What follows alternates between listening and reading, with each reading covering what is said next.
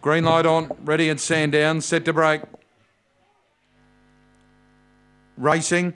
Alpha Lucky slow. Remorse Pearl won the break, joined by Trip to Eaton going out quickly. Alpha Lucky's going to rush up on the inside to second, but Trip to Eaton leads out of the straight.